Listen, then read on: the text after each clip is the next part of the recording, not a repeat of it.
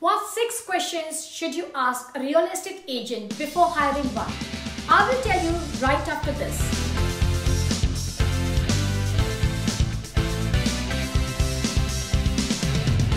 Hello, I'm Sushma Khinvasara and I'm a real estate agent with Century 21 Green Realty here in the Greater Toronto area. When you're looking to buy or sell a home, you most likely are looking for a realtor. If you don't have one already who can best represent you, there are so many ways to get in touch with an agent, either through a friend, referring one, or advertisements, or maybe even a relative.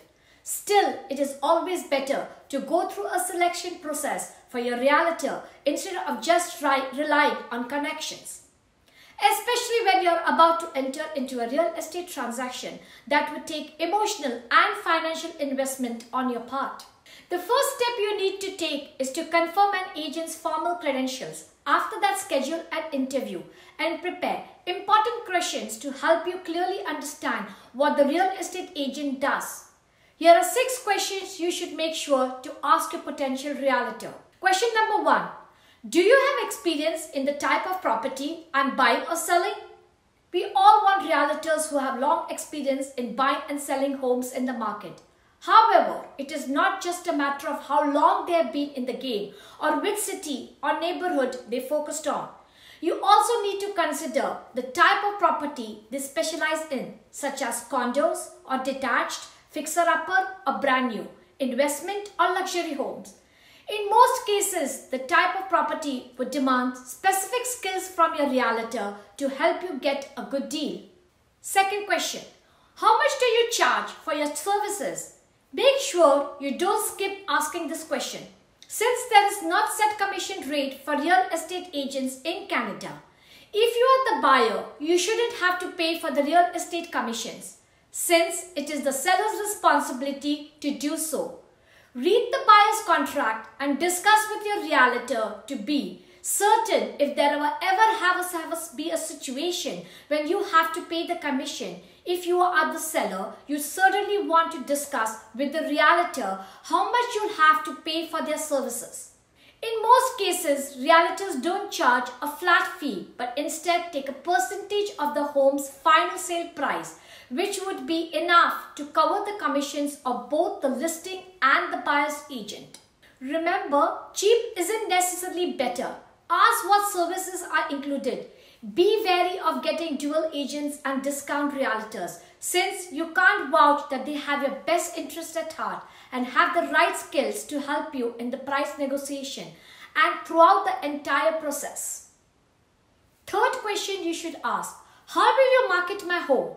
Another important thing to ask about is the realtor's marketing or purchasing strategy for your home.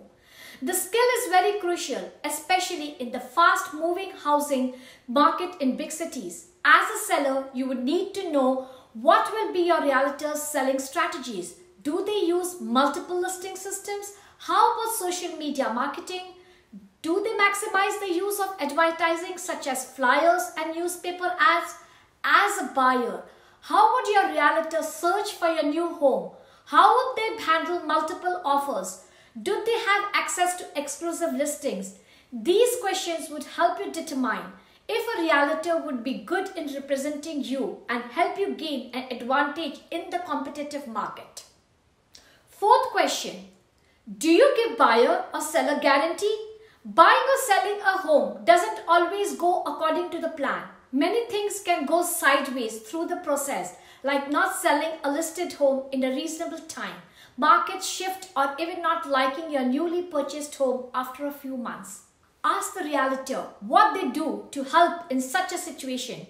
Do they have written guarantees that if you don't like the house you bought with him or her, he help you in selling it without incurring more commissions or what plan the agents has if your listing is stuck in the market for a long time. Having guarantees gives you a peace of mind that the realtor has your back in less than ideal situations. Fifth question, how and when do you communicate? Communication is a key for successful real estate transaction.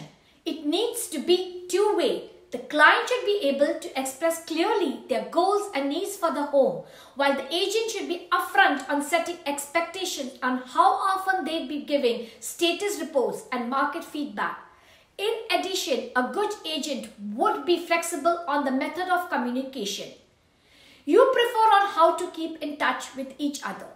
Your realtor should give you a clear picture on how they would represent your interests in the market You'd probably also want to know how many other clients they are also working for aside from you since it would be most likely have an impact on their priorities. And the last question, ask for references. An agent's reputation is everything. An agent with a wealth of experience and good reputation wouldn't hesitate to give you a list of names and numbers for you to call for references. Advertisements and websites will only highlight 5-star reviews, but a personal phone call would give you additional contact on what the former clients have to say. When you call, remember that your goal is to determine if the agent is worth the commission they charge and if they have the experience and expertise in the types of property you are looking for. An agent who's hesitant to give you contact info for references might indicate past problem transactions. These are just some of the important questions you shouldn't forget to ask your potential agent. Buying or selling a home will always be a major investment in your life. So you definitely want to get someone who will stand by your side and ensure you that you're happy with the transaction. I hope you found this information useful. Thank you for watching this video. I will see you in my next video.